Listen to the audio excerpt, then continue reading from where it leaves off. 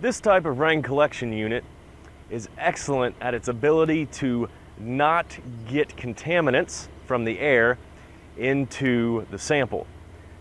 It does so by having a plate that covers your actual collection buckets that will move when rainfall is experienced as the rainfall is captured by this sensor here. There are two important ways in which this type of system can fail and allow the buckets to be exposed during dry conditions. The first way in which this can occur is by accidental moisture hitting the sensor.